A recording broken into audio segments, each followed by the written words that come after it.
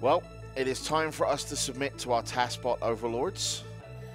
But again, as we have discovered in the past, TASBot will not go to work unless he is sufficiently energized by everybody in the room. So let's hear a lot of noise for Dwango and the crew with the TASBot.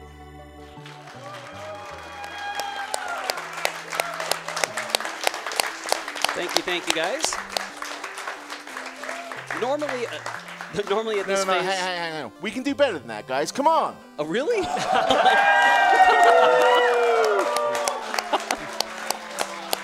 this room is absolutely packed. I'm, I love seeing this energy.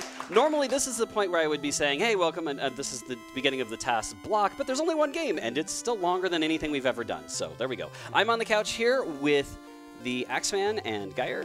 I hope that's how you pronounce your name. Let's go with it. All right. Jair? What are you? Why don't you pronounce Let's, let's it? go. With, let's go with Gyre. We'll use that one. You got it. All right. Jair. I am DwangoAC. You might have seen me do other stuff with TASBot. I am TASBot's keeper, but he does all the fun stuff for me. Uh, we're here in, uh, in, in this area just so they can crop the TV. I'm going to turn this off. Now, the very first thing I have to do before we start this run is I have to clear the console memory. And the reason I have to do this is because the TAS is expecting everything to be in a very, very specific order. So I'm going to plug in TASBot, unplug my controller, which I won't be using again. I'm going to plug TASBot in. And so you guys can see what's going on. I've got a visualization board. This is actually the wrong one. We have NES ones. Uh, packing problems mean that all I have are the Super Nintendo variety, but it's fine. Nothing big going on there. All I'm going to do now, I'm going to turn off this console, swap this cartridge with this copy of Final Fantasy here, and uh, then we'll have we'll, we'll start time. So be prepared, guys. Here goes. You didn't see that. I've never done it backward. Uh, all right. So three, two, one, go.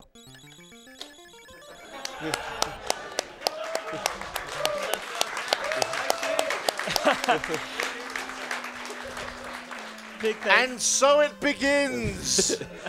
So big thanks to everyone who donated for names. As you can see, we have Dan in our party. Uh, because there's always Dan. Uh, Spud, Siri, and Ori. and you will find out eventually who wins, who lives. One of them will live. And At thank least. you very much for everybody that did donate for the names, as well as for playing for four white mages, which is going to be a very interesting run. Yes. yes. So from here on out, I'm mostly going to be letting them take over commentary, but I want to talk really quick about what we just saw there. The name entry we did, did through a script that the Axeman wrote that helped us to auto- automatically generate a movie file in an emulator that uh, we then dumped to the right format that TASBot needs, which took three minutes. So this run is an hour and Hour and uh, 17 minutes? yeah, that's what I think. Yeah, an hour and 17 minutes.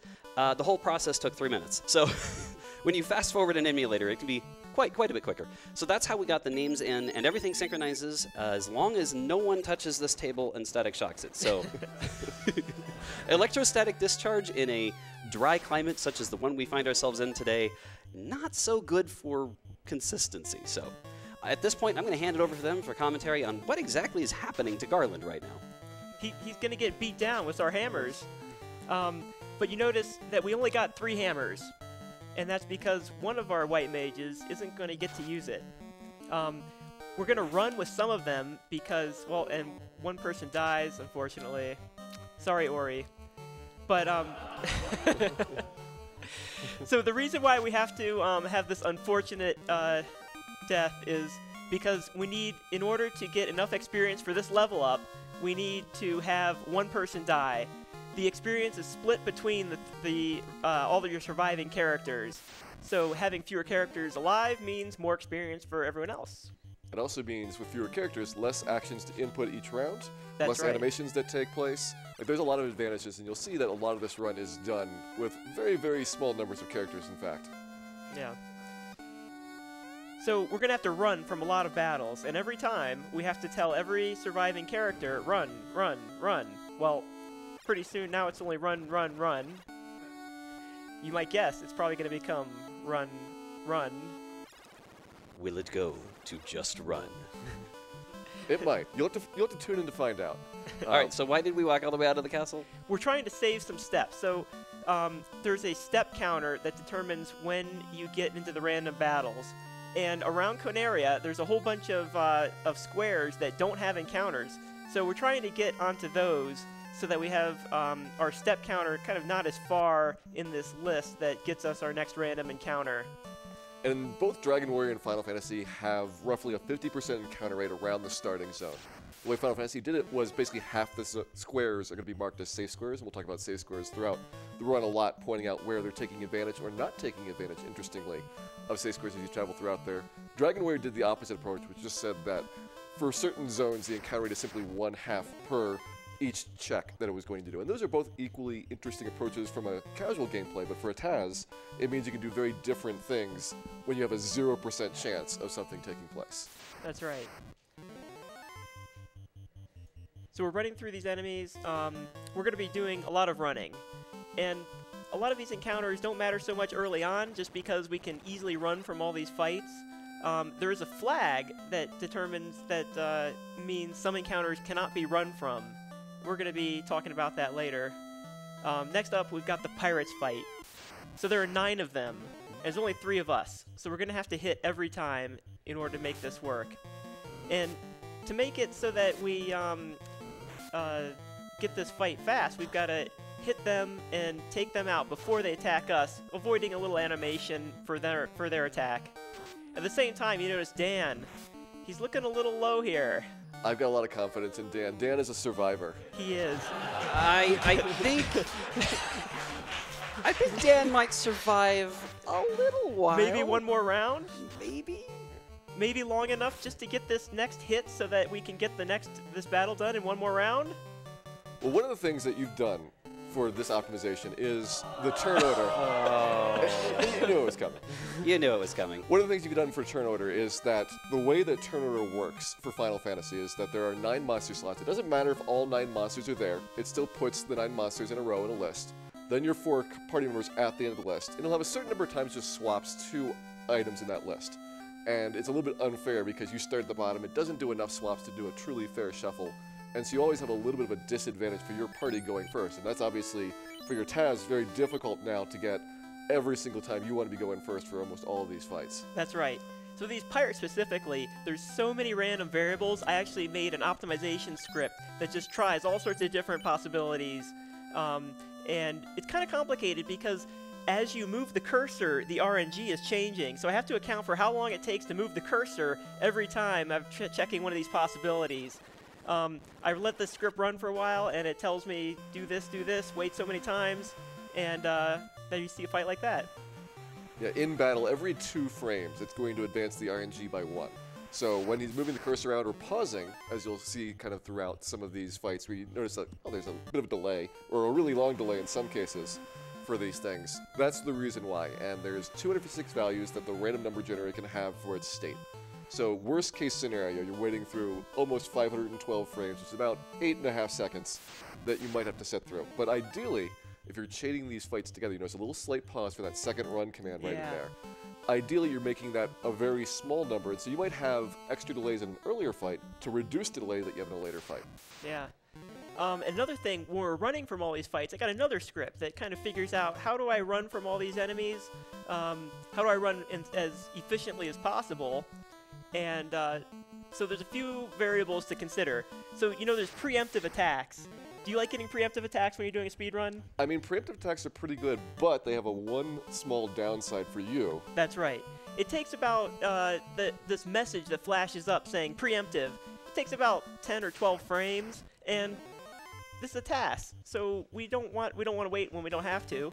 So we actually avoid preemptive encounters, even though you can run 100% of the time. Well, I can run 100% of the time because I can just manipulate the luck to do it.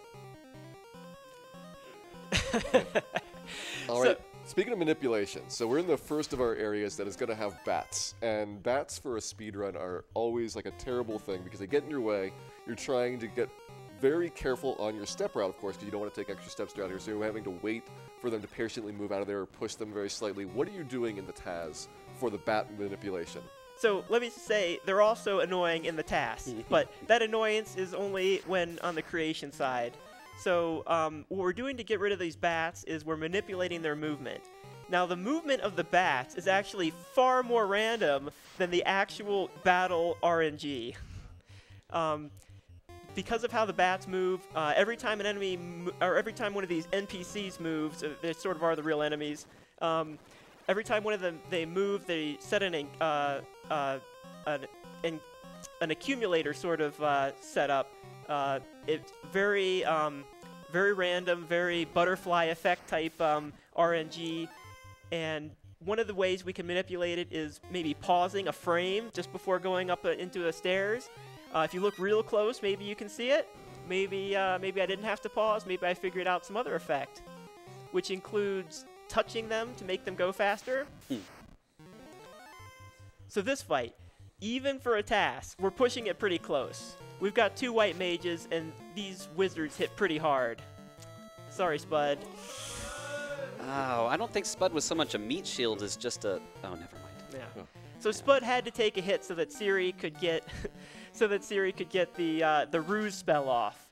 That ruse spell we bought in the first town. Um, what what it does is it increases your evade stat. After casting it twice, these wizards can't really hit us. So now we can basically go to town on them with our hammer here. It's going to take a few hits, and so um, we really need that ruse spell in order to get them missing, get those hits in. They have 84 uh, HP each, and we can do 26, 30 or so. I think it's 30 max with our hammer here. So it's going to take three hits. And that's two wizards beaten with two white mages. Well, more like one and a half. Is there something going on between TASBot and Siri that we should know about? Uh, last I knew, you see, there used to be something going on between TASBot and GDQ Monitor, but GDQ Monitor has sort of gone dormant. Uh, so uh, we've also discovered that TASBot doesn't seem to have any concerns about monogamy. So um, I'm not sure. Maybe. it is 2019 after all. There are a lot of people who have claimed her. Uh, do we have any donation incentives while we're backtracking? Or no, do- I mean donation comments. Well, we do have this one donation Hmm. yes. um, from a certain DwangoAC for $951.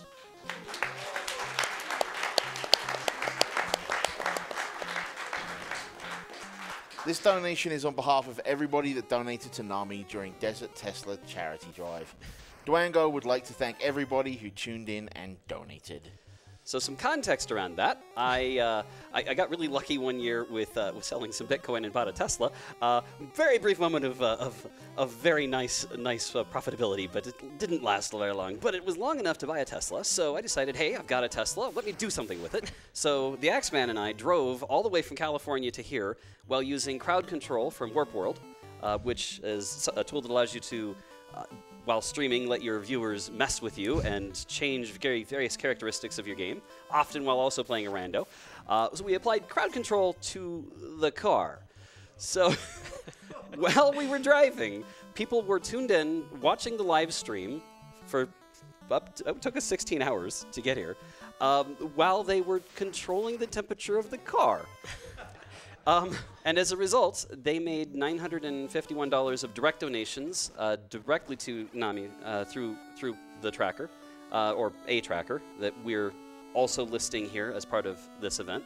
And additionally, made another contribution that you saw maybe earlier in this week that was for the bits and uh, subscriptions that happened on Twitch as part of that. All told, uh, people donated over $1,500 to NAMI during that drive, and I want to tell everyone who participated in that thank you.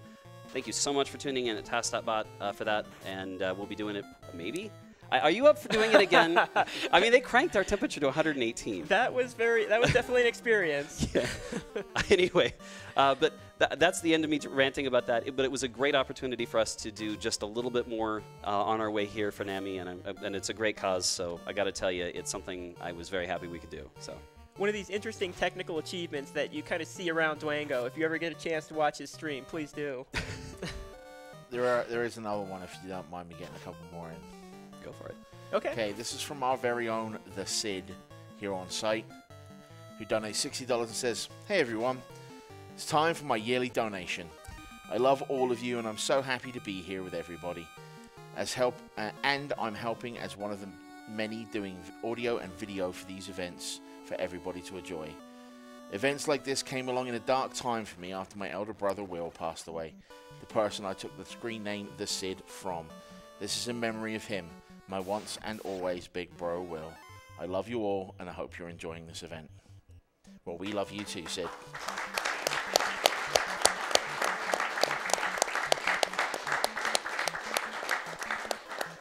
Thank you. So we we just beat Astos, the dark elf uh, king or something like that, and um, Astos gave us quite a lot of experience, but we only got one level up. We got enough experience to get two. If we were to look at our status menu right now, it would say something like minus 65,000 because the counters rolled over. um, but we're gonna make that right in a little bit here. Uh, we're gonna fight an enemy. Any enemy will do. Anything as long as we win the fight, and we will get our level up. Because we're a white mage, and we really need every level we can get. so, it wasn't a lot of experience, but it's enough for our level up here. Another point about the level ups. So, when you get a level up, um, every class has certain stats that they get on certain levels. Um, a white mage conveniently gets intelligence every level up. What does intelligence do, Gyre? Does absolutely nothing. That's the white mage. Um, you know, if you have a fighter, he gets strength every level. It's great. Um, and because strength makes your attack power, every two strength, you get a point of attack power. And when you have to fight the bosses um, one hit at a time, that strength is really useful. So the, the white mage only gets strength on a few level ups. However, when you don't get that guaranteed strength, there's still a 25% chance you could get it. And given this is a TAS, is it really 25%? So we're gonna, I'm guess manipulate. no. Yes. we're gonna manipulate that strength. So we get a little more strength. It's gonna make some later bosses. Um, actually, pretty soon it's gonna come up. Well, actually, not gonna come up for a while. We're, we're, our hammer is actually gonna be sheathed for quite a while here, conveniently. Um, we'll get to that. But later on, that strength that we're building up is gonna come into play and make a few fights a, a little shorter. And right now we're just in a fetch quest sequence, so maybe Dwango, this would be a great time for you to talk a little bit about TAS videos and what a TAS is. All right, so what you're watching is I'm going to start with what a tool assisted speedrun is. And uh, to do that, I'm going to go way back hundreds of years. you think I'm joking, but I'm not. Uh, turns out that there is some prior art that's very similar to a tool assisted speedrun, and it's a player piano. Back in the day, people used to build very ela- elaborate machines that automatically played music, and by the 1920s, it was really common to have what was called a player piano. It was just a piano that you could accept a piano scroll, usually paper with punched holes in it, that would play through and play a sequence of notes that, as the scroll continued to unravel and unroll, it would play through the entire sequence of a song. Well, a tool assisted speedrun is very similar to a player piano. Instead of playing a predefined sequence of notes to play to compose or play a composition of music, it's playing back a predefined sequence of button presses to play back a pre-recorded run of a game. Now, what the Axeman spent how long did you work on this? Uh, this particular run, uh, a few months, year and a half. Yeah, off, yeah. That's kind of what I thought. In, what's funny about making a tool-assisted speedrun? It looks fast, but it's not. Um, it's not artificial intelligence. This is very much the product of a human being sitting down in front of an emulator of a original console, usually, that perfectly, as much as possibly perfectly, emulates all, all of the hardware inside of that real console.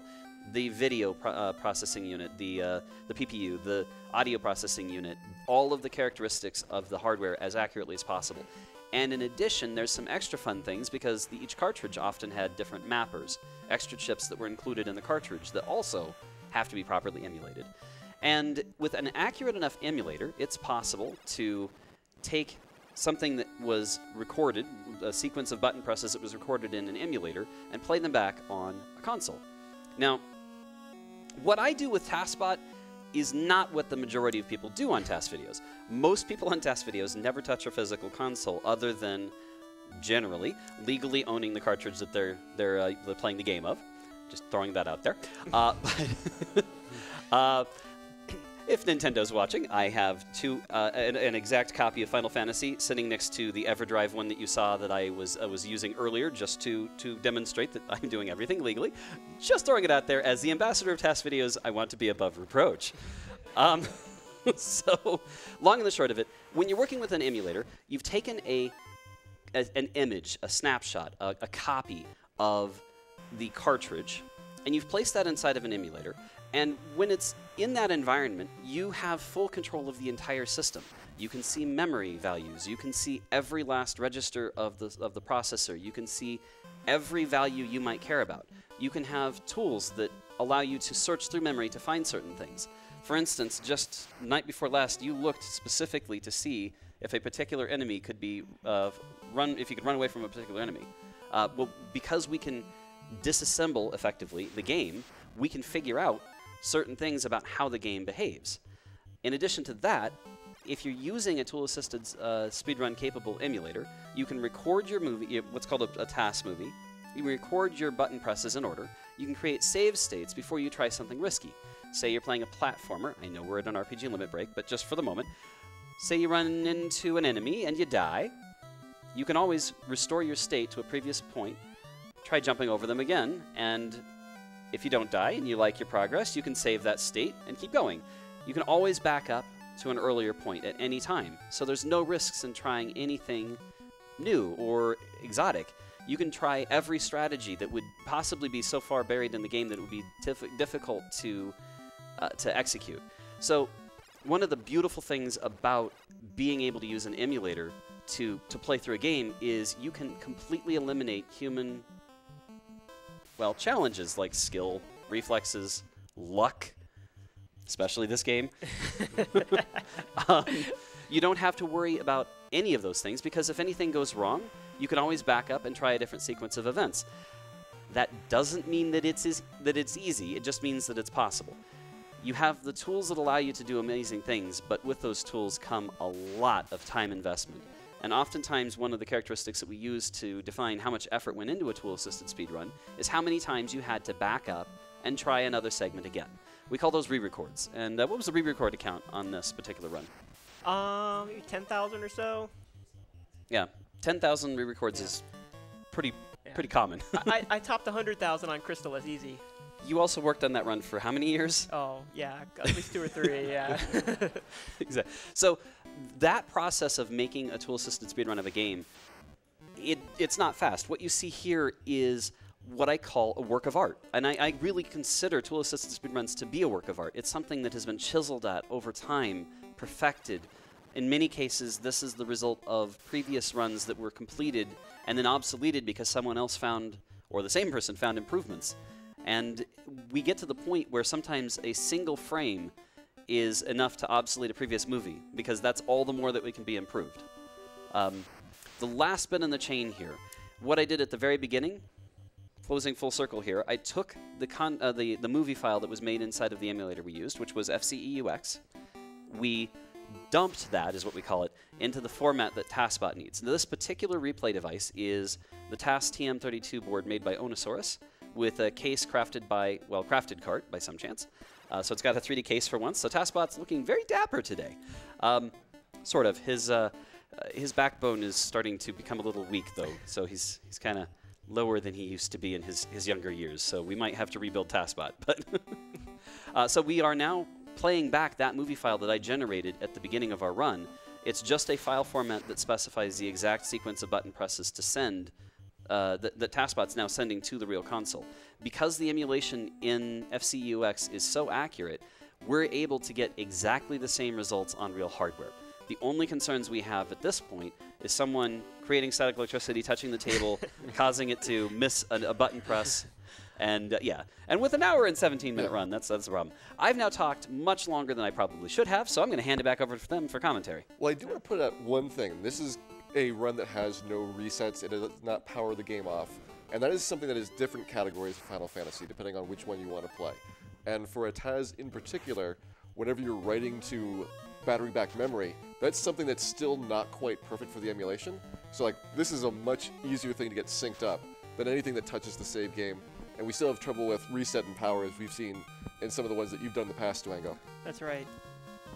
The um, so if you watch the video on TAS videos, you've got um, there are resets, both soft and hard, in order to uh, squeak out more time. The reason why you do that is because if you do a hard reset, you reset the uh, RAM of the console, um, and then you can that resets things like uh, what pattern the enemies show up in, and that gets us fewer enemies. It gets us uh, enemies that we can run from, which is going to come up pretty soon, and um, we can do a lot of things that we couldn't do before. The RAM reset was important because, um, as I mentioned earlier, the NPC movement is much more random than the actual battle movement. So random, in fact, that it uses uninitialized RAM in its uh, to seed that initial uh, movement. And so we need to get that RAM to a known state so that the TAS will sync. Uh, everything in the TAS has to every like the starting state has to be uh, known in order for uh, TAS to sync. It just so happens for top loaders, I found very consistent memory. Um, so that's what we generally use for Final Fantasy speedrunning. Recommend that you have a top loader if you ever want to try Final Fantasy 1 speedrunning at home. Front loaders, about half of them have the right state. Some of them, though, take a really long time to clear. So you have to turn the console off and sit there for a couple minutes waiting for the memory to go back to its base state. Some just have crazy base states. And Yeah. that's just kind of an unfortunate thing when you use uninitialized memory. If you think about how these consoles were made over many years, many different assembly lines, different countries, they source different parts throughout here. Um, so there is really no canonical definition of how Nintendo works, but we have enough examples of similar behavior, which we can say we can use that one as our base reference. Right, and there's a lot to unpack there. If you actually break down what's happening here, we're talking about RAM, which is considered volatile storage as opposed to your hard drive or solid state drive that's considered non volatile. And it's called volatile because if you don't have power going to it, it isn't constantly refreshing the electric. uh, There's, there's all kinds of stuff I won't get into, but it's not constantly keeping power to the RAM uh, to keep the state of memory. Uh, it's volatile in the sense that if you don't have power, the state is no longer guaranteed. And basically, the funny thing about the front loaders, the earlier consoles, they tend to have memory that is not as volatile, oddly, which is kind of, we would think that would be a good thing, but in our case, we really want it to forget everything right away. And for whatever reason, the top loaders are better about forgetting everything. Who thought? Can I make a, a quick announcement? Sure. Uh, we have had an absolutely huge flurry of donations, which I thank you all for. And it has allowed us to reach our latest milestone of $70,000.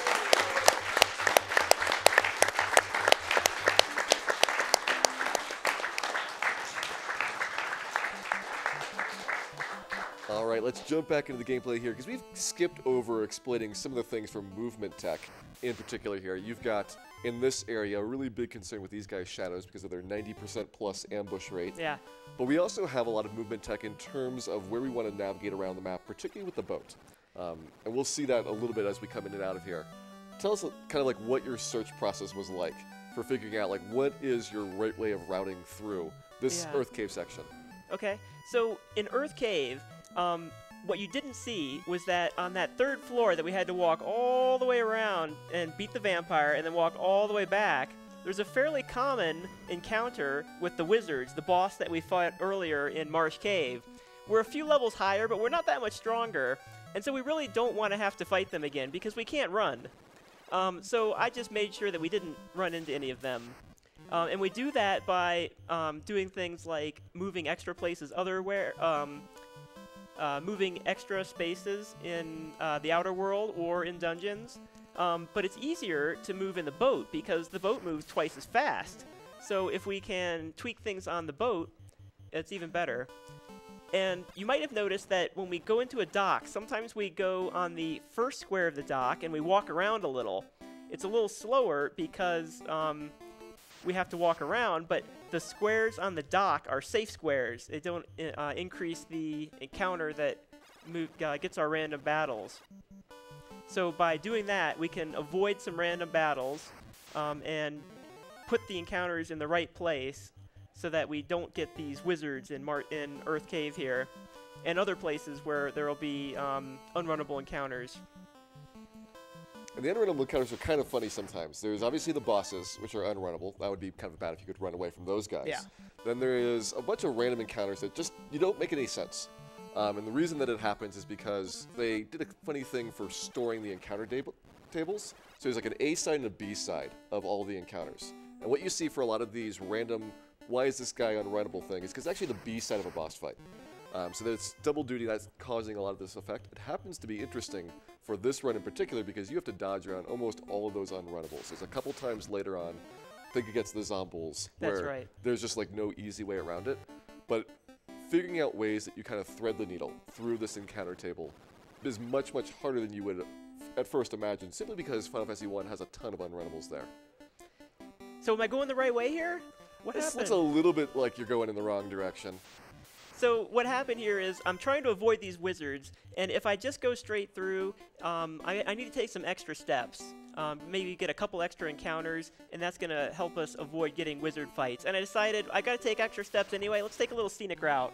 Yeah, console speedrun, we just usually walk back and forth on one tile just so we can count it out more easily. But when you're able to do things like a TAS, you can figure out more interesting patterns for entertainment. That's something that kind of comes up as a TAS video topic of, you know, you're not just being the first to finish, fastest possible frame, but you also want to make a TAS that's interesting for people to watch. Yeah, especially if you have an opportunity where you don't have any difference in time. In other words, a lot of times we'll even say in the submission notes on TASVideos.org for a new submission, entertains without wasting time. Or uh, basically, anytime you have an auto scroller where there's nothing that is going to change the amount of time something takes, if you can do entertaining things, why not?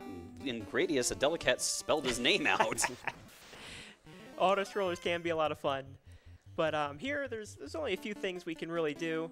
Um, but we're gonna see some some interesting stuff. And if you you know if you kind of loosen it up a little and decide, hey, I'll I'll give up a little bit of time to get a little a lot more entertainment. There's a lot you can do.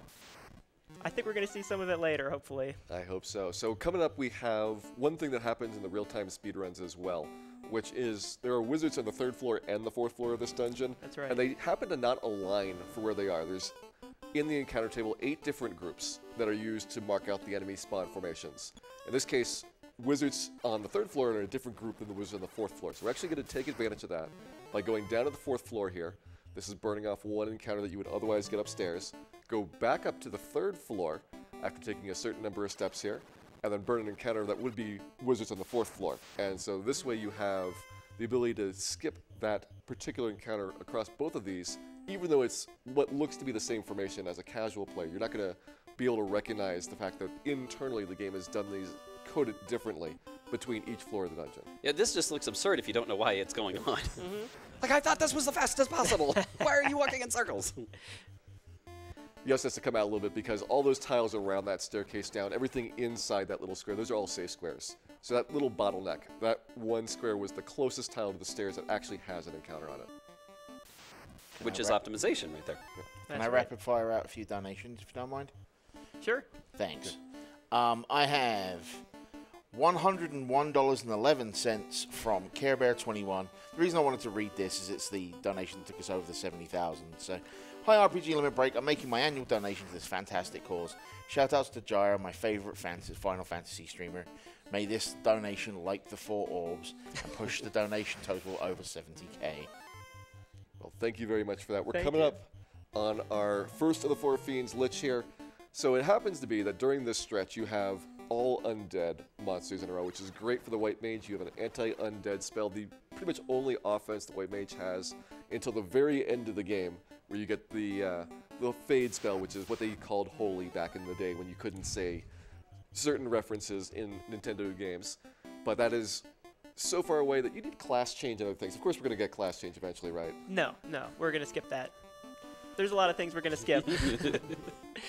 so, um, the white mage, um, if you might have noticed in Elfland, we bought this harm two spell. We've also got the harm spell that we got in uh, First Town, in Coneria. Um, so we're gonna take an ice two spell, take a little damage here. Now, how how tough is that ice two spell? So it's anywhere between 40 and 160. I noticed you got 40, which means you not only resisted the magic defense check, super hard to do, uh, but it also rolled the minimum possible on that 40 to 80 range you What a have. coincidence! I don't know how you do it there. um, and all the spells for the monsters, as well as their skills, are scripted. So when a monster uses spells or skills, it is a list that they have. It just goes in order that list. So you can actually well, for a real-time run as well, know exactly the order that they're going to use their spell moves or their skill moves, but there's a certain percentage chance that they're going to attack, use a spell, or use a skill every round. So that's also part of the manipulation you'll see throughout here is controlling which of those three types of attacks the monster is going to choose. So one of the other spells that we picked up is called Mute, and it um, it disables enemies' magic.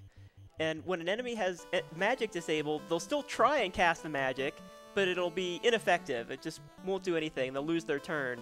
Um, and we haven't been using that. The reason is because we just it takes another turn to cast Mute, and if we can get around it, you know, let's let's do it.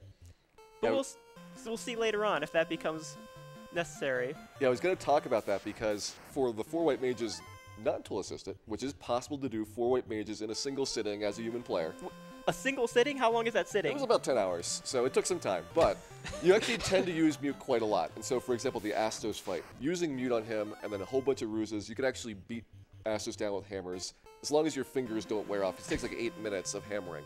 But you can lock the bosses down, and that's true except for critical hits, which bypass the evasion check. Of course, you're not going to get critical hits on your party here. But it, a lot of these techniques you see are actually not as crazy as you would think. Um, you know, there might be additional setup required to make them safe. You might need some more levels you, because you're not going to get criticals. You're going to get regular attacks in there. But some of this you can actually apply to real runs as well, which is kind of the cool part of RPG speedruns is you tend, for Final Fantasy at least, not to have any crazy things where you're doing like left plus right on controllers or things that are not human possible for the input on it. So is there anything that you found from the TAS that helped your world record run? Um, from the TAS, a lot of the things that were really helpful were actually the tools that were built as a result. Interesting. So, finding out, like, here's the table of encounter groups, here's the step counter table. Those were things that were developed as part of the TAS work that has been very beneficial for doing routing for real time runs as well.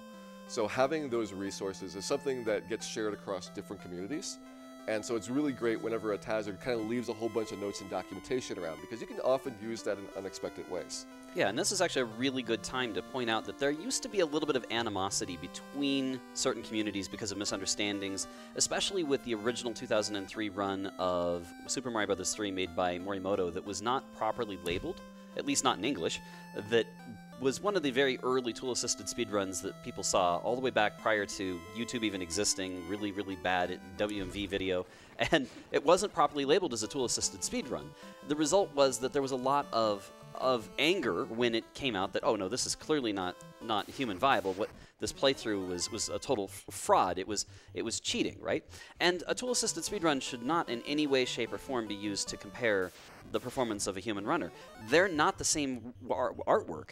They're a totally different class of, of work of art. But as tool assisted content has been labeled properly, especially with Bisqwit, who founded NES Videos, which became TASVideos.org, started to make sure that there were always really good markers on every single tool assisted video to say, hey, this is where you can find more information about what this is. This was made with tools. With that disclaimer in place and with further communication between the two communities, we're now at a point where oftentimes the TAS will use a route found initially by human testing, and the, the human runners will use techniques, uh, sometimes found that were in theory tasks only, that through maybe input buffering or some other technique are viable in real time runs, or are simply information that you couldn't find any other way other than using an emulator and working through what you would need to do to make a tool assisted speedrun, very much like what the Axeman did. So this is actually very, very common nowadays where tool-assisted speedrun content influences real-time runs and vice versa. And I love seeing that synergy between the two communities. Not only because I'm the ambassador for TAS videos, but seriously, there's some awesome stuff that happens. Mm-hmm. All right, we're about to go through Ice Cave, one of the more dangerous parts of speedruns here, just because almost everything in here can kill you quite easily. Um, there are two unrunnable encounters you're having to dodge around. One is wizards, which appear in even larger quantities. So if we had a hard time beating two wizards, it's three to seven in here. You'd have at least 50% more wizards at minimum for encounters. And there's also Frost Giant, Frostwolf throughout the rest of the dungeon. So obviously you're having to do a lot of encounter manipulation here to get the right groups as you're walking through. That's right. Um, you might have seen me do a few extra um, sailing, taking a little extra, uh, taking a little joyride on my ship before actually getting in here. Um, that, that that helps avoid some encounters. Um, we're also doing things like not stepping on safe squares sometimes, um, and sometimes uh, you know not stepping on the safe squares is sort of a trade-off. Um, like in the case of the ship, we can go further into the dock. Now we've got a uh, we save some time from having to walk around. Maybe we can make up the uh, the spaces, those safe squares that we uh, that we need. We can make that up somewhere else. Um, I'm doing all sorts of calculations.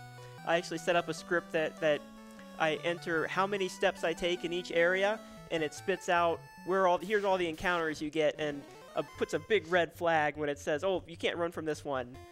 Um, and I just I have it optimize, uh, try different techniques, uh, take different uh, numbers of steps other places, and that's how we avoid these fights.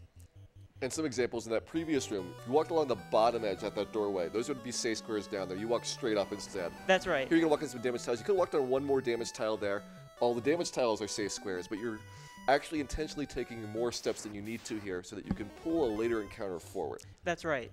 Um, that later encounter is um, going to be. It would have been a white, uh, or uh, it would have been a wizard battle on the uh, first floor, but instead it's going to be something else on this floor that we can run from. That's going to be later on, but uh, a lot of these cases, it, it's sort of it goes. Uh, I'm kind of optimizing globally. It's another thing you do in a TAS. Um, you can look a little uh, further ahead rather than just your your current dungeon or something, and you have these global optimizations. Sometimes makes it, for example, picking up some gold or a heal potion. You know I'm going to use it sometime. It may not be for a little while. You pretty much don't pick up anything you're not going to actually use. That's right. uh, do we have an opportunity at any point in? Uh, I know he still has donations pending, so I think this would be a great time to get some donations in, Bob. Here we go. Buckle in. We've got $10 from Tiny Tim who says, Hey all, I'm loving the Final Fantasy TASBot run as it's the only Final Fantasy game I've actually completed. Thanks on the run. I've got $50 from JDW who says donating on behalf of the Oak Group from Twitch chat who was unable to donate because they couldn't afford it. Thank you for that. I've got $100 from our own Ashen Prime sitting on the sound desk who says, It may be obvious, but that doesn't mean it's not appropriate. This goes to naming Robo TASBot in Rock Chrono Trigger. yes, thank you. $112 from Bing Chang, who's making up because he says this is for all the resets during the quest run last night. Thank you for having us and good luck to the rest of the runners. And I'd like to finish out this little block with a $225 donation from Cy Wildfire, who says, I lost my father 15 years ago to mental illness. Having something like this existing is so important, and I'm glad to donate to the cause. I love the Final Fantasy series, and I cannot wait to see TASBot break this game over its knees. wait, hang on. Does TASBot have knees? Um, not exactly. But again, thank you for that $225 donation. Thank you. Yeah, thank you so much. C- canonically, um, canonically, TASBot has a Roomba he rides on, but anyway. All right, back to the speed run. So we just picked up a whole bunch of gold. That's going to be used to buy the bottle later on. That costs a lot of money, and so we're having to pull the money here. It would be either like here or Cardia, probably the two choices that you would have to be able to grab the, enough money for the bottle in a timely fashion. and why do we need a bottle? Well, there is a uh, quest into the Sea Shrine, which is going to be probably one of the top three fights, I would say, for what you have to do for a tool assisted speedrun for doing Final Fantasy 1 here. Going to be very much looking forward to that one coming up. There's one thing I should mention. The word reset's been thrown around, or specifically no reset. This particular replay device and this particular console have uh, have the ability to be soft reset, where we can hold the reset line to ground, and just by, by, by touching that signal and holding it to ground, we can trigger the reset on, on the console without clearing memory. Because remember, power is still actively being sent to memory, so memory's state is preserved, but you have told the game, the CPU, to start over. So we could do that part of it, but it gets a lot harder when you need to completely kill power and make sure that memory is cleared. So we thought about different ways of trying to do a resets run and just decided it was way too unsafe for any kind of marathon situation. So this particular run was adapted. It's it's uh, how much longer? What's the, what's the time difference between this About and five reset? minutes. Yeah. So this this is a little bit longer because we're not doing the reset, and also it caused you a substantial amount of rerouting.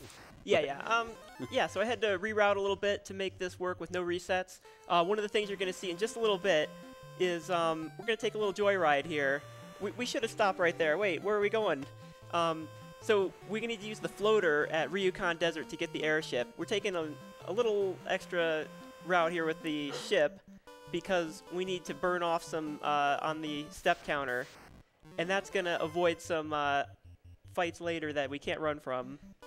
And those tile types are also important because the encounter rate is based on where you are in the world. So the boat has the lowest encounter rate. You can actually use that to skip past encounters that would otherwise take place on land.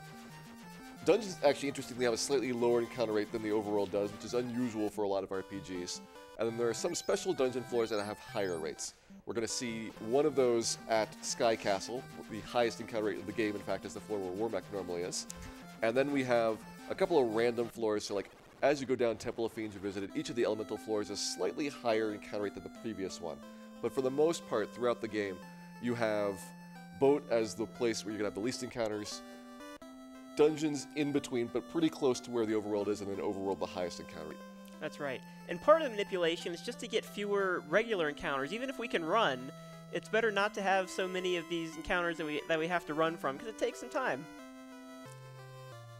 So here in this town, um, where we used the bottle there, so backing up to where we used the floater and got the airship. I don't know if everyone saw that. Hopefully, uh, if your eyes were quick enough, you might have noticed that we used that heal potion. So now we have um, a little more HP and uh, we're kind of combining those menu trips where we can. Yeah, go- going into and out of the menus is pretty slow in Final Fantasy because it takes time to redraw. That's something that you use in real-time speedruns as well, is trying to optimize your menu movement. I noticed that you have like specific places that you want to put items in your menus, specific spell placement that you want to have, just to minimize the total amount of cursor actions, both in battle as well as outside. So number of cursor actions isn't so much a problem in a TAS because we can move the cursor so fast. And, Um, and how can you do that faster than a real-time run? Um, because the the um, TASBot can press the button i- in um, at uh, 60 hertz. Well, I guess it'd be 30 hertz It's- for every yeah, press. 30, press, 30 hertz with one button, and you can alternate alternate different buttons That's at 60 right. hertz. That's another one. So you can press up one frame, right another frame, up another frame, A, um, whatever you need to do to get the menu. Uh, if you saw us enter the names, that was how we did it. Yeah, and this is why sometimes in certain games that can respond every single frame, you'll oftentimes see a s- staircase because if you wanted to go down four times and something like that, you would you wouldn't want to press down, let go, down, let go, down, down. That would take longer. It, if you said down, right, down, right, down, if you walked it over, it ends up being a little faster because you get a new action every single turn that way. You don't have to wait for the button release. All right, so we're walking through the Sea Shrine. My favorite shrine of the game. It's got the best music. It's where you, in the Final Fantasy, normally are going to have your abilities kind of branch out very well for the first time. You got items that you can use in combat. We're going to pick one of those up here very soon, the Mage Staff, which allows us to cast Fire 2 in battle. Finally, we're going to have something for our White Mage to actually be able to attack with. And we have a really big feed fight coming up, so maybe Bob, squeeze in some donations before we get to Mr. Kraken at the bottom here. Can do.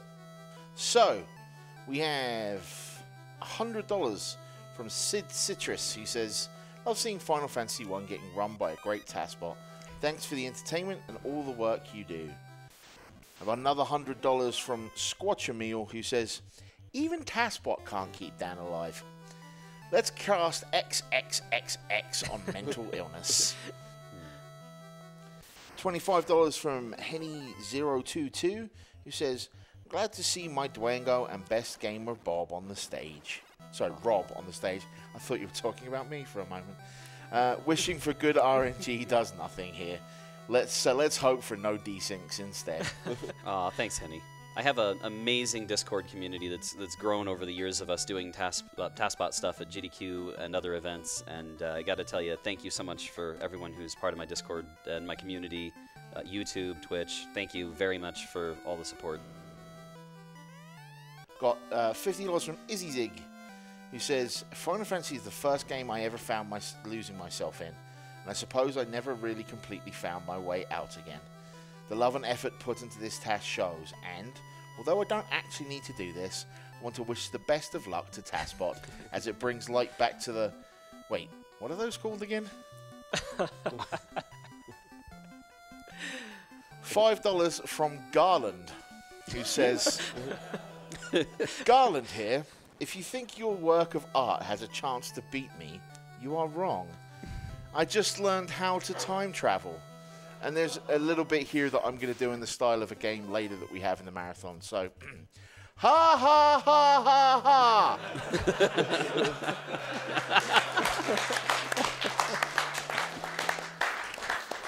ha! Guy W sends $75 and says, Finally caught you live. Great run, great work. Oh, thanks, Guy. He's a great friend. And Hotbot from here on site sends $25 and says, Thank you, TASBot, for always representing the bot community well. Beep boop.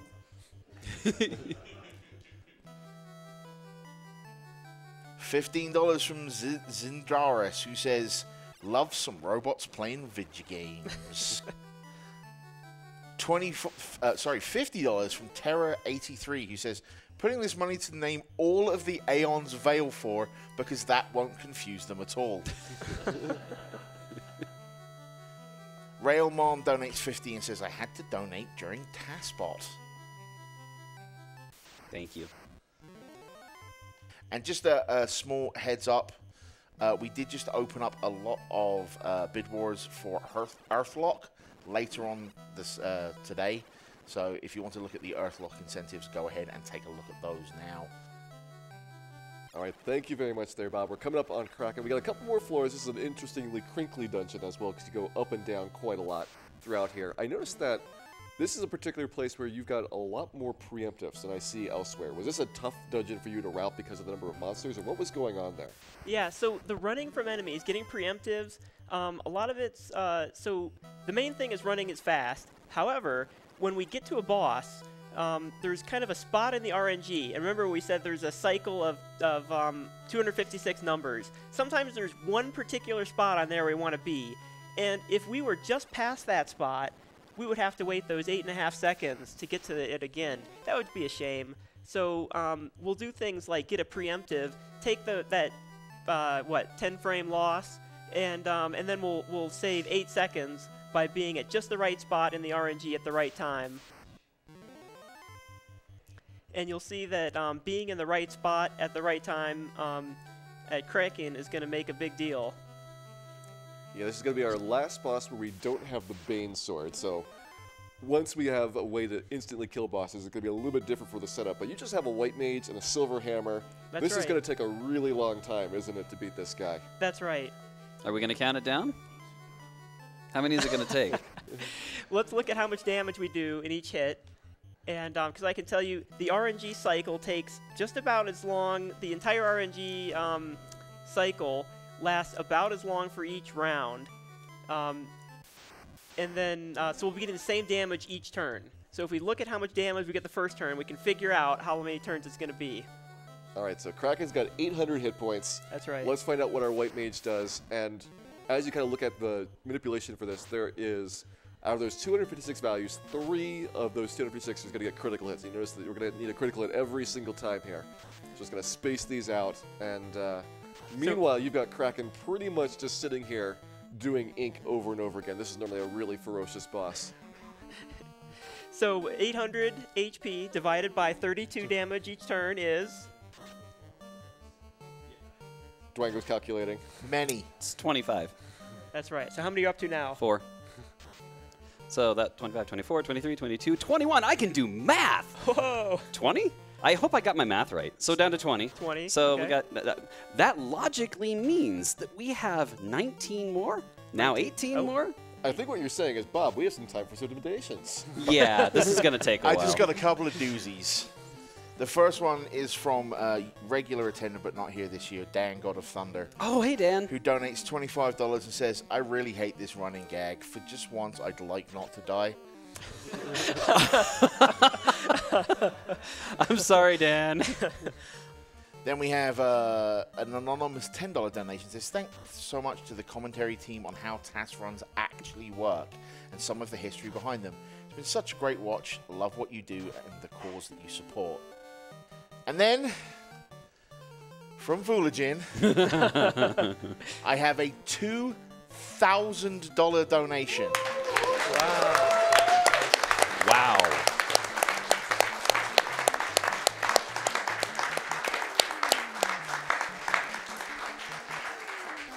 who says, I figured it was about time to donate to this lovely event I help run. What better time than during the first RPG I ever played? I'll have plenty of thanks to share at the end of the event, but for now, let me say thank you to my great friends and family who supported me through some challenging times early this year, particularly Aiko, without whom we may not literally have a functioning event. Thank you for everything, and let's get a new donation PB. Oh, And I think on behalf of everyone in this room, thank you. Yeah, one more round Foolagin. for Village for that. Yeah. Yeah, I love you, man.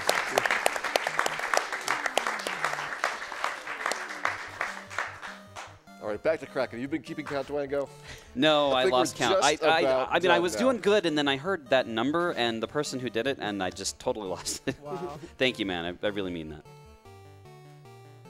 That's even more than the 800 HP that Kraken has.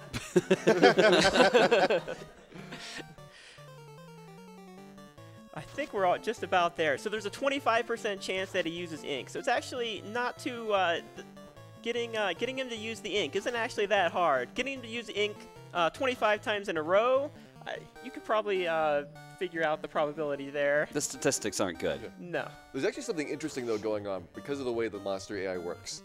There so we go. we have every round, the monster's going to queue up their actions and figure out what they want to do. And if it happens to target a dead character, it needs to re-roll that action. So by having multiple characters dead, you also have the ability to roll through the RNG a little bit faster than you would otherwise. That sometimes comes up because with multiple characters dead, it might even take 256 values exactly in order for it to figure out what it's doing that round. And we call those RNG loops.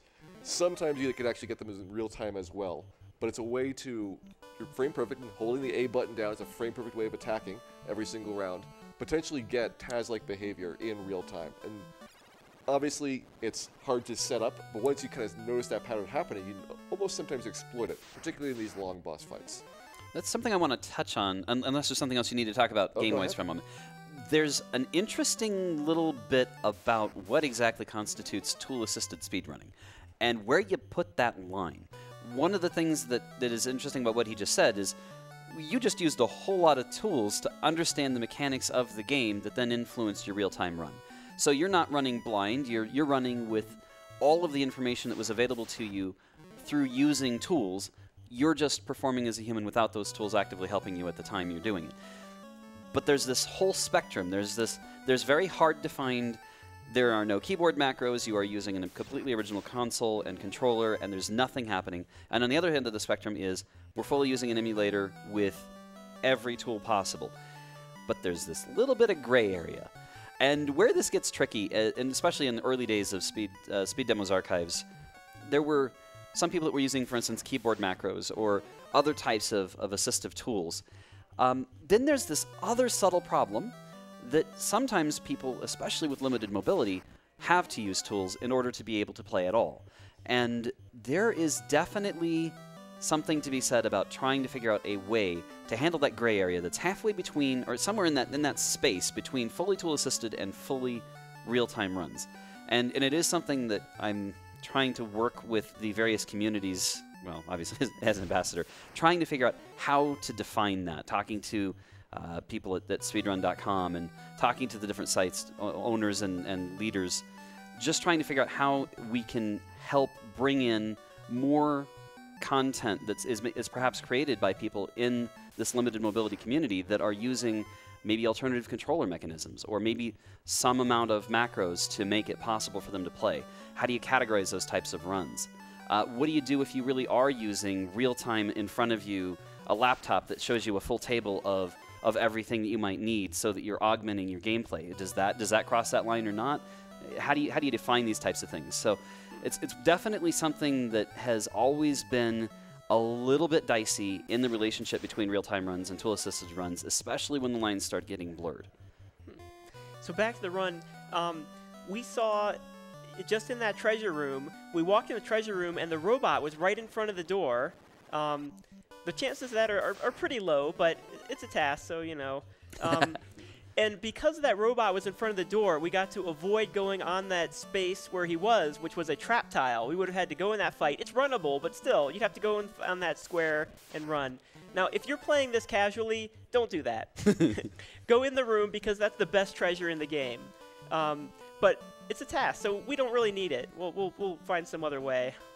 And you'll see a couple of those manipulations as well. I think we've got the fabulous Dr. Unne as well, that you worked a really long time on getting kind of that optimal walking. That's Uh, right. Because NPCs are basically spawned on the map right away, and it takes you some time to walk over there, you have a lot of opportunities to really influence the travel directions that they have throughout there. So, for example, the robot you're trying to get onto one particular square, Dr. Unne here, he's normally stuck up all the way in the corner in this graveyard. You've actually done a lot of work to route him to pull out all the way as far as you could. That's right. So manipulating this took me a few hours. Um, it's going to save maybe half a second. That's how TASes are.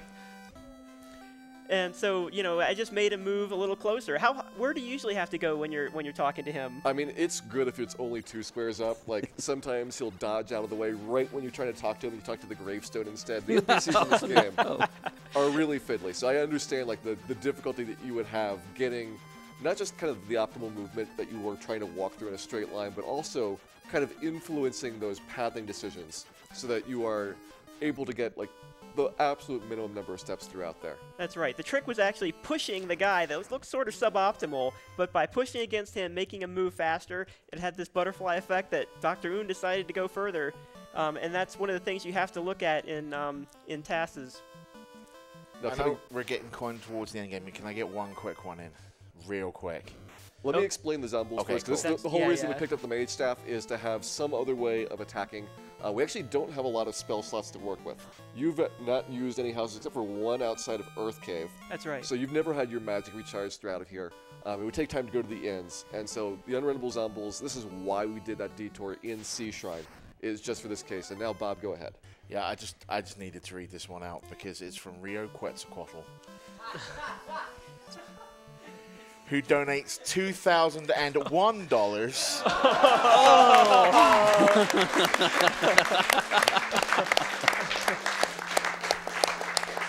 oh my goodness. and the donation comment merely reads, "This one's for Vulagen." Oh. oh man.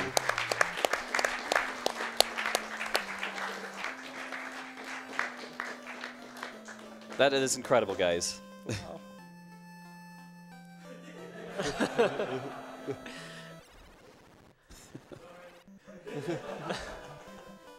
It's okay, Ryu. Have a happy birthday. This has been an insane experience. yes. Um, so have we been here? Have you been here as, with TASBot to RPG Limit Break before? yeah, this is our first appearance at an RPG Limit Break, and I'd love to make it a yearly thing. If we can continue to find tool assisted speedruns that are acceptable to the event, I'd like to do it again. This has been, quite honestly, one of the most successful runs I think we've ever had. Um, th- this is the first time at an RPG. Obviously, been to a lot of other types of events.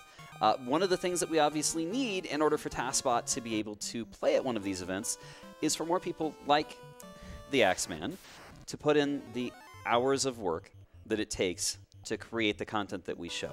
And obviously, one of the things that's really important to me is attribution. It's very difficult, oftentimes, at a GDQ when there's only a couple of minutes total to say anything. And in fact, I apologize for how much I have manipulated the commentary and taken time from these two explaining the game in order to say all the things I've never been able to say at a Games Done Quick event about how this stuff works.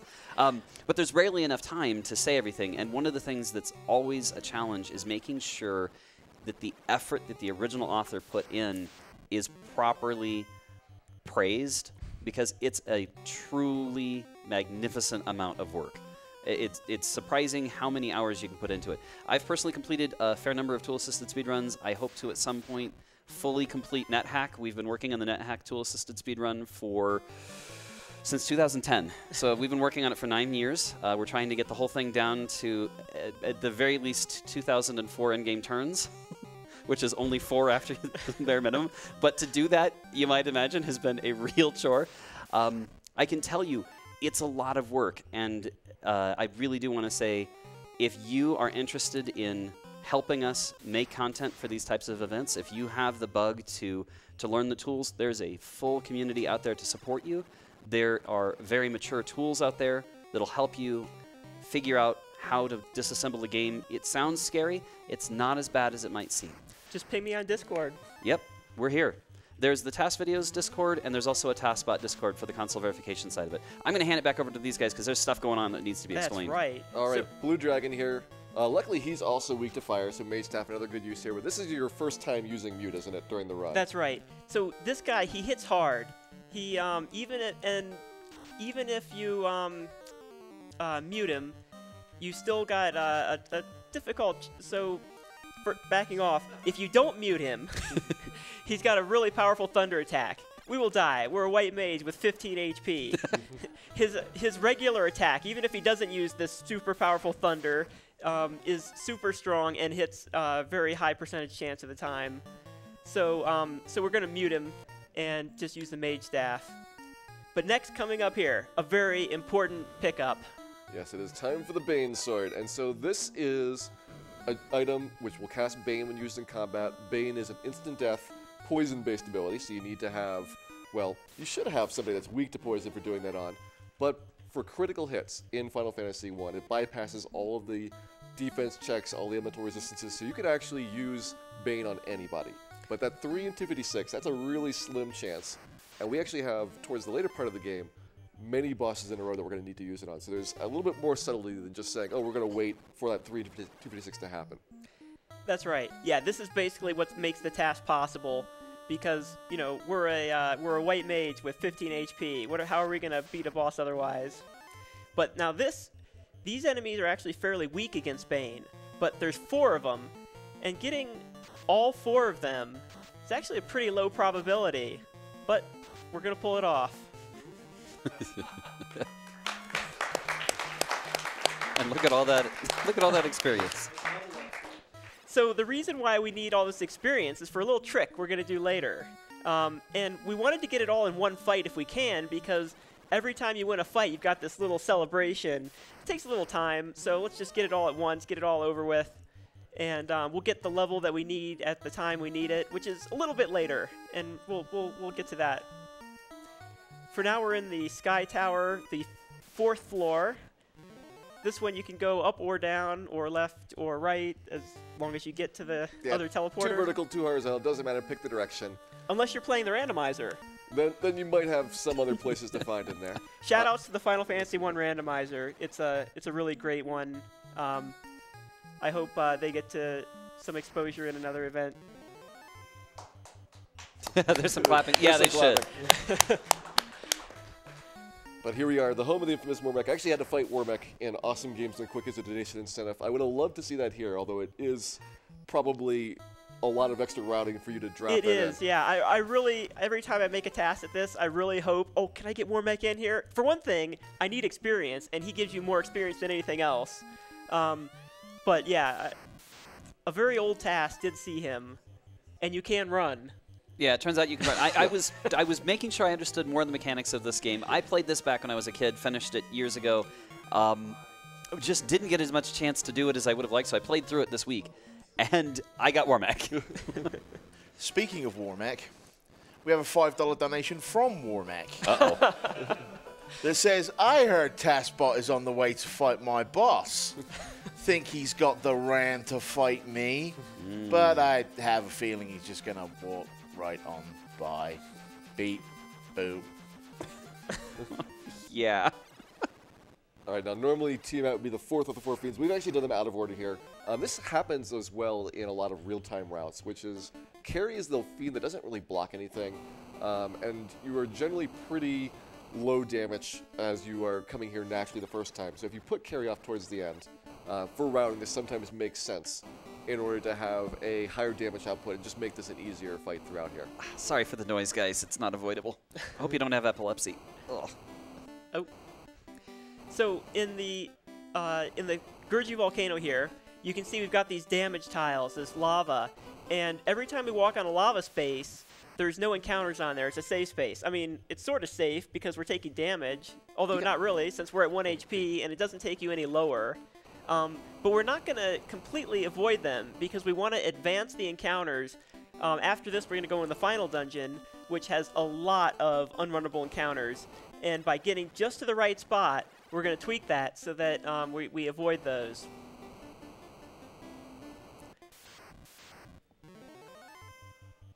Do we have any more donations? We do, yeah. Um, speaking of, we've uh, had one staff member donate. It's time for another one. Oh, It's Meta Sigma from Offsite, oh. donating $750. Guys, keep it going. Good grief. who says, Guys, don't let Prof Palmer down. Let's make his Earthlock dreams come true. Let's meet those incentives. I miss you all so much, and I'll see you all next year with a surprise in tow. Is Meta pregnant? I'm staying out of that. I'm not touching that. I've got $100 from Porsight. He says, Hi, TASBot. This donation is from Clage, Girl, and Dio. We just wanted to thank you for helping us defeat all the Lamia queens in Final Fantasy II earlier this week so that we could set a new Lamia queen percent world record. In honor, please put this donation towards naming Tidus Lamia queen. thank you. And I will note that earlier in this run, we were celebrating $70,000. I noticed that we were already past 75,000 over the course of this run so far. I want to see how quickly we get to 80,000 as well in this event. That's right. I think that's a challenge, folks. So. that is a challenge. We have $50 from uh, an anonymous donor who says, It's my first time at RPG Limit Break, donating because it's just plain awesome to see the runs in action. $50 from Axton who says, Enjoy watching our robot overlord show us how Final Fantasy 1 is meant to be played. this goes from making Porom the Final Fantasy IV free enterprise starting character. We have Mint donating $25 who says, I had to donate during the TASBot run. I've seen all the amazing YouTube vids. Money to TASBot's choice. Ah. $5 from Media Magnet who says, Hey Dwango and the rest of the couch.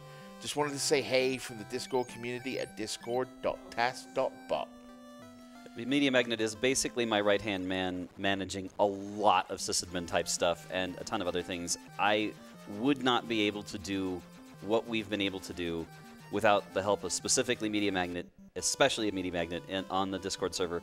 Um, but there's so many other people, Sinewave, Illy. Oh my goodness! I, got- man, there's so many people that are a core part of this team. I'm just the presenter and organizer. There are many, many more people involved behind the scenes to make this all happen. Uh, thank you guys. And we got Miria sending $75 She says, meow. Thank you, Miria, wherever you are. $20 from Leggy Starscream, who says, Just wanted to give a shout out of appreciation to the White Mage getting revenge on that squid. TAS videos are always super wonderful to watch, and what a great classic game to showcase. $50 from Falconic, who says, Falconic and Moist Mogwai here. Wanted to give RPGLB some love for showcasing the greatest RPG of all time and raising money for such a worthy cause. Here's hoping we can get some FF randomizer during next year's event. Ooh.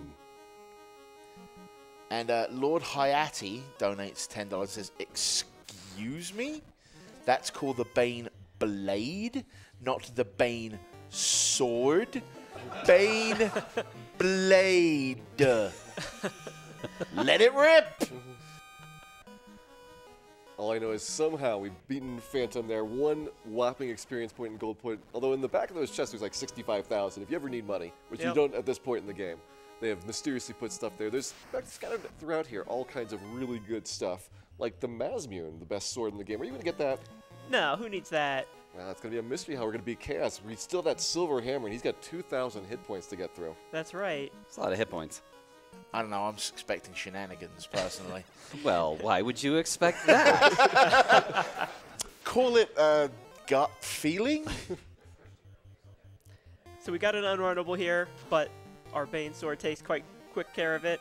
Um, you might have also noticed that in the prep for this dungeon here, we visited a town, and we went to the inn to restore. Well, we restored our HP, but we also restored our magic points, and um, and we picked up something. What was that? I, I didn't notice, so maybe we'll have to uh, find out when it happens. I think it was in one wanna of the grab. spell shops. Hmm. Sharky donates and says, "Hey TASBot, here are 2,002 cents."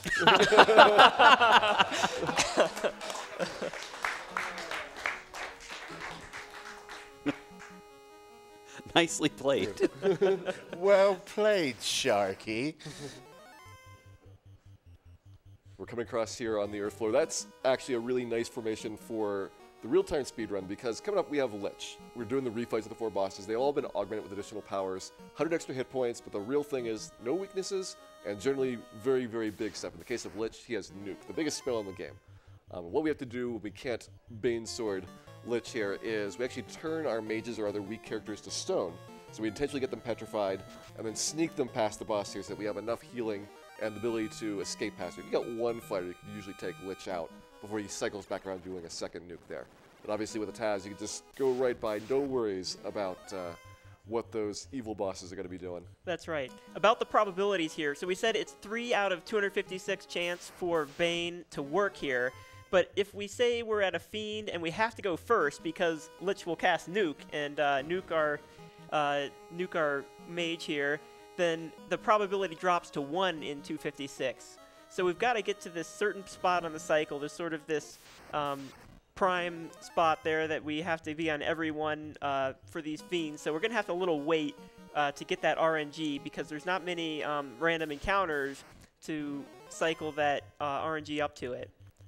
And that's also going to be a problem because after you come out of this fight, there's only one 256 chance of it happening, then you're forced to be on a certain part of the RNG for the upcoming random encounter as well. That's right. So you're going to have much more of a challenge getting back to a good state where you're not going to be attacked by a monster on the first part of the round or otherwise having a really bad encounter coming up.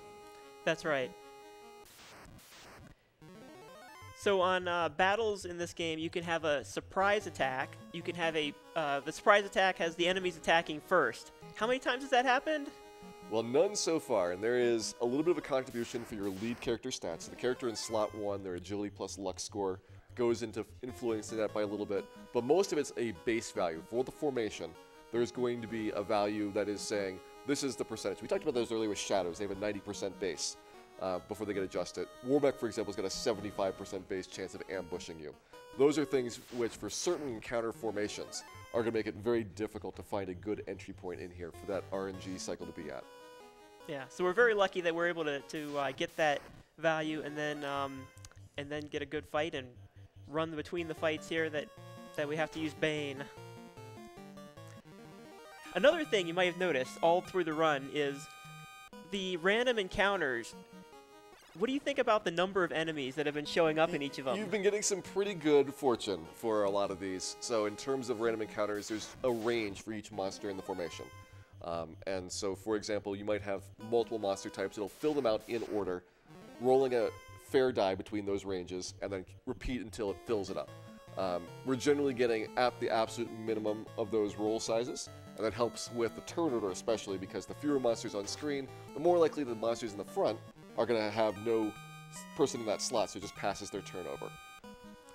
That's right, and there's actually a loading frame. Every every enemy in the battle takes one extra frame to load, so we save a little times. And you know, saving the frames is what TASing is all about. All right, and it is time for chaos here. 2,000 hit points we talked about.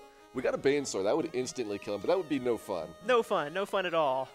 So we're going to use a different mechanic here. So there is a concept called morale, and normally bosses have a lot of morale.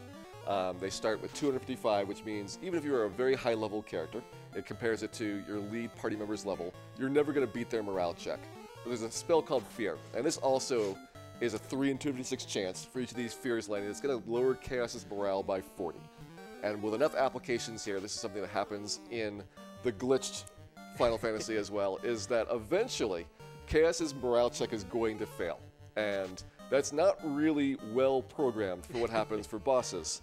So, once we have our last fear off here, Cass is down 160 morale from his starting point. There's a really big range, and Time. run away.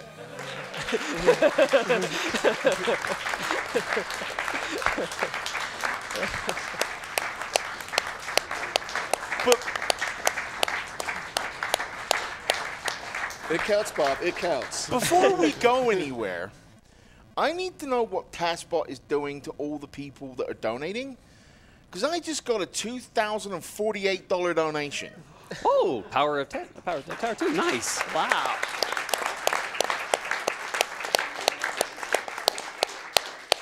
from Vaxherd with no donation comment. It's just like, here, have my money. Okay. Thank you. Thank, thank you. you. Thank you very much, Baxter. Baxter is a runner that also does a lot of manipulated runs. Baxter did Dragon Warrior 3 at a Games Done Quick event. Really great member of the community and has been out to these events as well. So thank you very much for that, Baxter. Thank you. Yeah. Well, unless there's something else we need to talk about, this concludes the run of Final Fantasy by TASBot. Last things you need to know.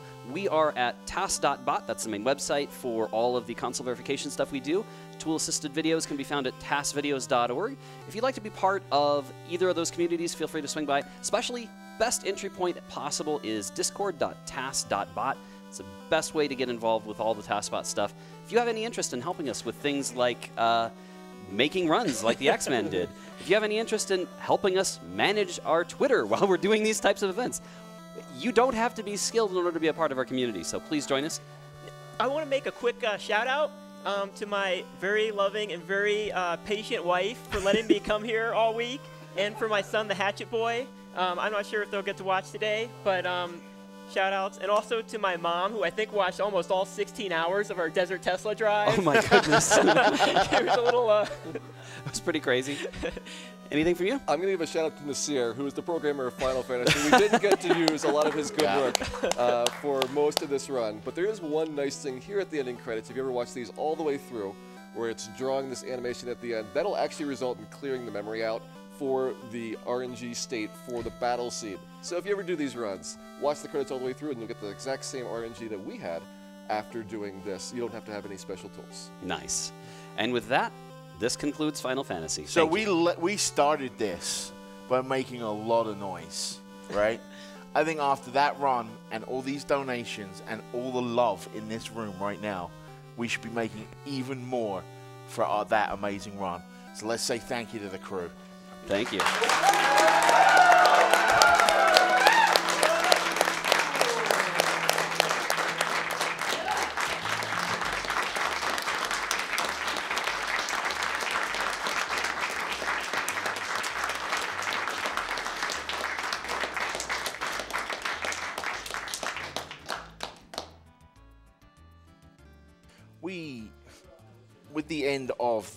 TASBot run, we are going to go ahead and make our way to the next run, which is going to be Chrono Trigger. Um, we do have an interview coming up, but I'm going to throw us over to a Twitch ad while we set that up. We have been RPG Limit Break 2019, sponsored by Twitch. And I will see you on the other side of this advertisement.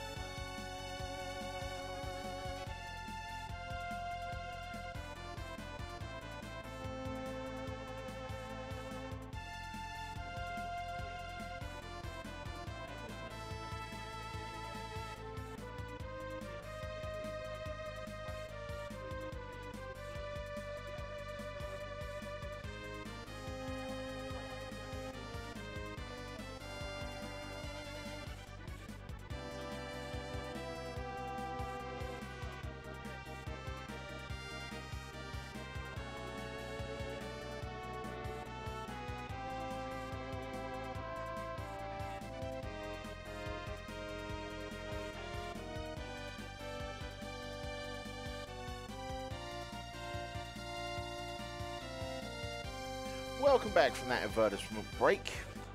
Let's try and clear out some of these TASBot donations before we move on. We've got $100 from Kojero who says, This is my first time watching RPG Limit Break. Thank you, Dwango and TASBot, for bringing it to my attention. I've lost a few friends over the years to mental illness, and NAMI looks like a great organization to support. $50 from an anonymous donor who says, Hello, Mr. Robot. $50 from Coach Stay, who says TASBot plays Final Fantasy IV White Mages almost as well as Gaia. And Bahamut X, $15 says it's so fascinating watching TASBot runs. I've never seen an RPG one before. This has been a lot of fun to watch.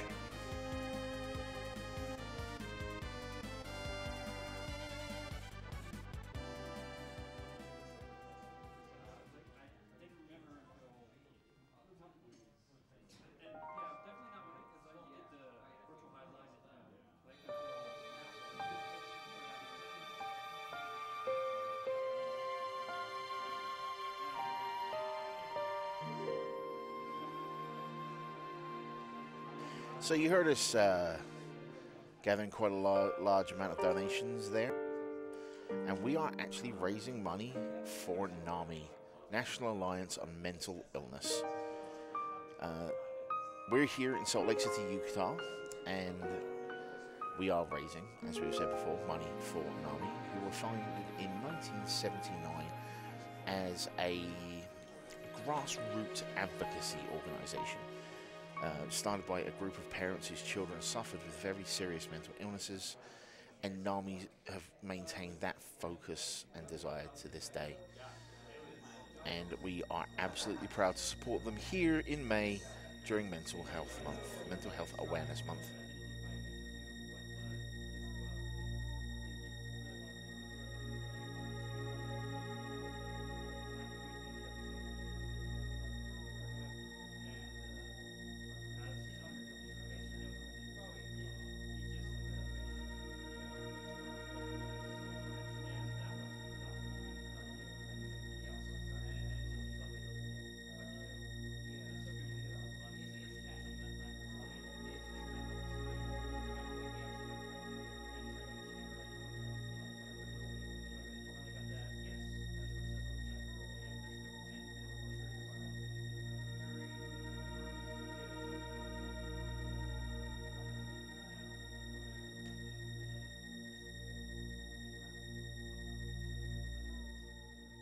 Okay, so before we move into the Chrono Trigger run, I'm going to go ahead and throw it over to Bowie, who's going to be interviewing our runners, Aedrana and Redslash. Take it away, Bowie. Thank you very much, Bob. Uh, my name is, is indeed. Uh, My name is indeed Bowie. Excuse me, I got a stutter. The bandana is on this time. Hooray! It's actually back. No more forehead for you guys. I'm joined by the very, very lovely Redslash and the very, very wonderful Aedrana, who will be running Chrono Trigger either any percent or any percent no LSS for us right now. Um, so obviously, yeah, this is a legendary game, uh, and obviously we've seen it in many different per- permutations of run over the course. But I think any percent is something that we may maybe haven't seen as much in marathons. Um, first of all, I wanted to come over to you, Ad- Aedrana, uh, because you are currently the world record holder with a 2.447. Um, obviously, tell us a little bit about kind of like when you learnt this game uh, and kind of like what your journey was through learning it to the position you are now in. So I started learning. This is my first speed game, by the way. I started learning in July, after after SGDQ, pretty much. Uh, Yeah. And what actually wanted, what actually made me want to learn the game itself was Hmm. Puwexil's run uh, in 2017 in, in SGDQ, Sure, sure, yeah. and uh, so I started learning by learning uh, the route with Jerry Elgran Jerry's Oh, of course, yeah. uh, tutorial. Mhm. And pretty much when I started, he was still the ho- world record holder at the time.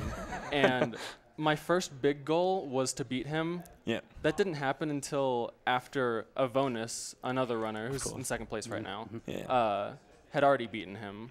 Well, So eventually I beat him, and then I beat Avonus. yeah, yeah. And So- got the world record. That's quite quite. And I, I, th- I find it funny that you say that you would learn because of of Puwexil. I think there's many runners here in this building. I Yeah. think and o- over the course of speedrunning who probably did that. I want to learn because of Puwexil. I want I want to beat Puwexil as well as a, Yeah. a motivation for many. He's a, a great great runner, a great great community community member. Um, so Redslash, you're a legend of this game. You've been around since what feels like Well, Ayla's time. well, It's uh, Well, thank you. yeah, I- think it's like 2013. You said 13, so right, Quite, yeah. quite, a, quite a legacy. Mhm. Um, tell us about your tenure with this game, what you brought to the run, and kind of how you've seen it change over the many years that you've been, been running it. Okay, yeah, sure. Uh, well, since uh, Opta Junior pretty much um, created the first route for Chrono Trigger that used the glitches from the TAS, and it has, you know, changed quite a bit. Um, first, those first couple years saw Yeah. lots and lots of uh, community development. We pretty much, you know, started from scratch. Um, I have to give a shout out to El Gran Jerry, who pretty much, you know, galvanized kind of community around, you know, putting together like a community edited route doc, you know, Sure. so big shout outs to him. Um, Yeah. And let's see. So um, I have to also, also mention uh, Keeley, uh, him coming in and really using more of the uh, the, the TAS only glitches, so to speak. Sure. And that was kind of an inspiration. And let's see, would you like me to talk about the any percent? Oh, I mean, it's uh, it, it's definitely a question I'd like yeah, uh, to get sure. to, obviously. That's cool, too. Um, so I kind of like getting ahead of myself. no, it's fine. It's fine. It's, it's all good. Uh, so obviously we are there is is a bid war for any percent and any percent no L- LSS. Um, so tell us a little bit about what um, the LSS is and what the difference between doing it and not doing it actually is. Sure. So the LSS, that's Lavos shell skip, and so what that does, at, well, at the moment, the Lavos shell is a is like the, the major final fight, and so being able to skip it, that cuts out you know not only a long fight but a lot of preparation, Sure. and it is a very difficult trick. Um, let's see. Um, for a long time, of course, it Yeah. was so crazy looking that no one thought it would ever be, you know, feasible. You know, Quite tough. Reasonable- Yeah, it Well, was, exactly, reasonable it was a try to- TAS only trick. uh, Yeah. So who was the first one to perform the LSS, as in like um, in their own hands, kind of non-TAS? Sure. Well, I'm gonna have to say that was Chaos Okay. Twitch, and he would have these long sessions, day-long streams of attempting to get LSS on console with human inputs, and he he got very close to succeeding. But what he really did was brought a lot of awareness to it, and really made it clear that this was going to be the the future of the any percent run.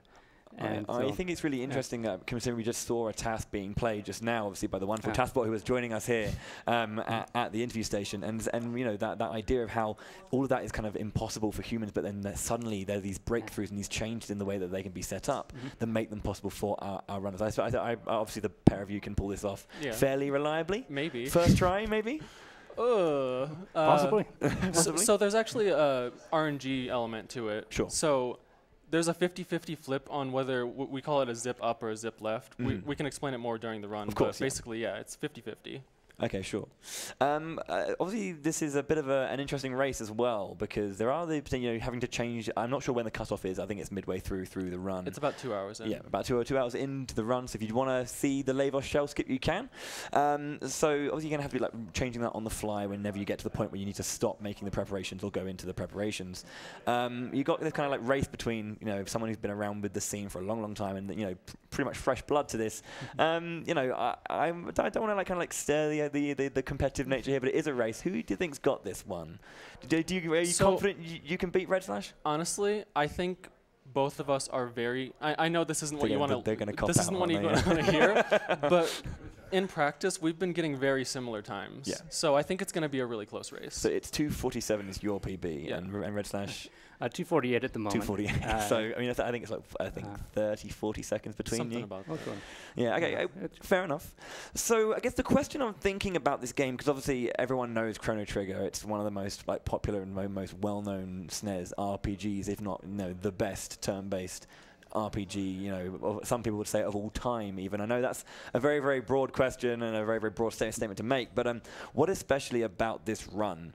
Kind of makes made you interested in kind of picking it up or like working on it for as long as you do what you know what about this game is so important You want to start? Well, um, I mean, from the very start, it, it's my favorite game, so that's why I picked it up. Uh, there's a lot of really cool movement in it, um, and the movement really ties into the, the RNG manipulation. Yeah. Um, you know, just avoiding fights is basically all you really need to do. Hmm. Um, the foundation of manipulating the RNG, and um, beyond that, I, I really enjoy the movement. There's Sure. some really great little ways to move through the rooms Yeah. that a lot of us have worked on over the Yeah, years. I pretty much want to echo what he said and say that RNG manipulation was probably the biggest reason that I Mm. wanted to learn it. I think this is really interesting. I'll, I'll let you finish just a moment, but um, obviously because there is this kind of RNG manipulation side of it, but then there is also um, all of the glitches that take place as well. Of course. So I mean, you, you said the uh, RNG manip is what kind of brought you on board. Yeah, exactly. Uh, is there what kind of aspect of it kind of is it the fact that you can feel that if you do everything perfectly, the game is just putty in your hands? Yeah, that and the fact that it's really easy if you're not super focused Mm. to mess, mess up just like by a couple of frames Sure. on basically the the Mhm. worst part of it is the Lavos shell minute, but uh, Yeah. we might not do that. So. I mean, yeah, you, you never know. You're going to ha- have to find out when we get there. Okay, obviously, I know you guys are antsy and you want to get going. You want to get this run und- underway and show your skills. Kind of final question for you uh, then. And I think uh, this is a question I've always kind of thought about when it comes to some um, runs I do, and I've never really been able, able to answer it like immediately. But uh, I'm going to put you on the spot and see if you can come up, up, up with something. But if there's one thing that you could do in the speed run that you can't already do, there's something that you could kind of change about about the run to make possible what would it be? And I, I guess why if you have a, if you have have a why, but if you just want to highlight something, I do you want to guess. start or me? it's quite it's All quite right, a tough question uh, to put you on the So, spot with. so it's yeah. not a tough question for me. It's sure. it's there's this section in uh, the pretty early game. It's uh, in the future Mhm. that you go there the first time, and uh, you have to go down in the Arris Dome and do a bunch of stuff. Mhm. There's no fights that you have to take, and it's just skipping a couple things Mhm. and then getting a key item that if you didn't have to get that key item, you could just skip past it and Yeah. keep going. And that would If we could skip that Yeah. Arris Dome skip, as it would be called, yeah. uh, that would be the biggest thing. And also, Jerry, El Gran Jerry, would give the person that finds that skip $150. Is it actually a bounty right that's now? a That, that's a bounty. okay, cool, excellent. And uh, and for you, Redslash? Um, I would have to say Retinite Skip. Um, that's the, the boss before the Lavos shell. Yeah. Yeah, that's been a dream for a long time, and that would be That would basically make uh, Black Tyranno the final boss for any percent. exactly, Oh, wow. exactly. It, it, uh, I mean, that's kind of a, a weird one. Is there anything that you kind of been looking into to try and make that happen, or is it just kind of one of these that you think I feel I could get get rid of that? That'd be great. There's a couple tiny things that could. Uh, We- it's we- probably not going to We happen. got like a, a scare. we, we almost had something, and it was perfect because it happened on April Fools this one year.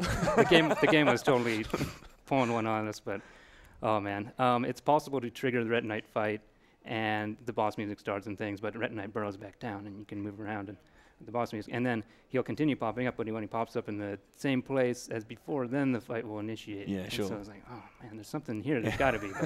there wasn't. Uh, Yeah, it's kind of kind of mean of, of the game to pull one over you on you on a- April Fools. uh, well, obviously we do have to get you going on your run. Uh, you've got a wonderful couch going to be supporting you. Uh, so, so gentlemen, best of luck. Um, we'll throw over just momentarily, but I want, do want to remind you that during this run, if you make a donation of a, a minimum donation of ten dollars, you will be entered into the the, the prize um, of a, an, an NTSCU, an American copy of Chrono Trigger to have for your own. Uh, gentlemen, I'll let you go. So thank you very much for, for talking to me. Yeah, best of luck you. in your run. Thank you. Uh, and I'll throw it back over, over to the host and we'll get this run underway. Cheers. Thanks, Bowie.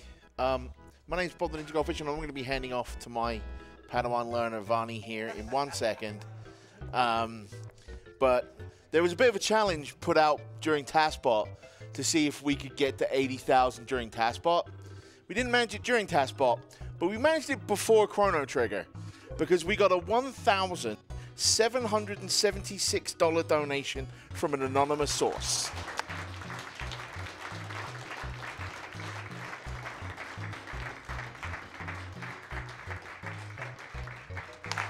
who says, having suffered severe depression since age 5 and severe OCD since age 6, along with a host of other issues, I feel I should bump us up to 80k and be mildly patriotic in the process.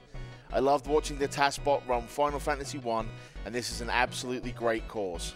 I'm kind of rambling, it might be time for my meds. Thank you so much for your donation, and uh, as I've said, That brings RPG Limit Break 2019's total to $80,000.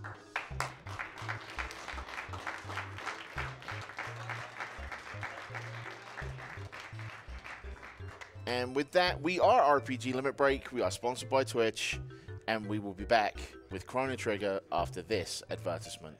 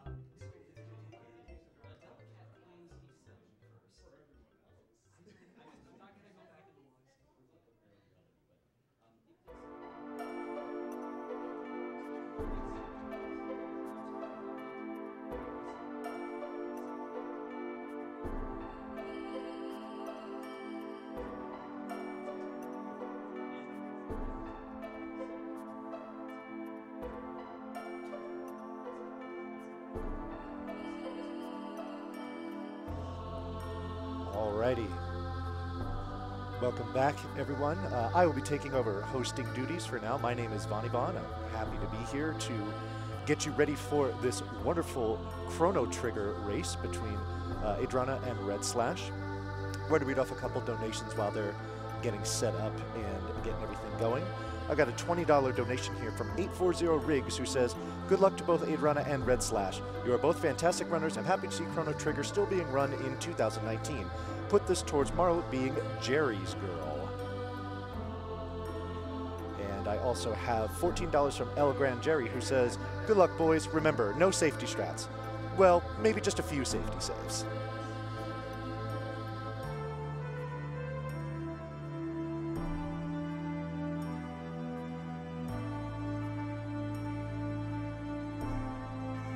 I've also got $10 here from Charai Samurai who says, Thank you so much for sitting down earlier this week and teaching me more about my favorite game.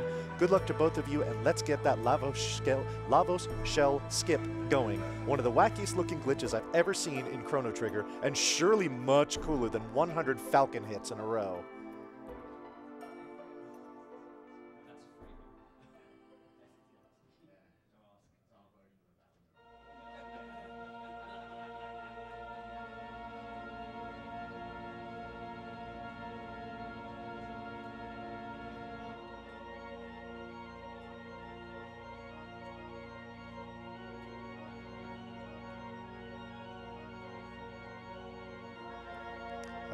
Some more donations here. We've got $25 from Silent Sword, who just says, It me. $100 from Dodecalope that says, Thank you for putting this show on for such a good cause. I've lost dear friends and work colleagues to mental illness, and I like knowing I can help make the world a little more forgiving and supportive.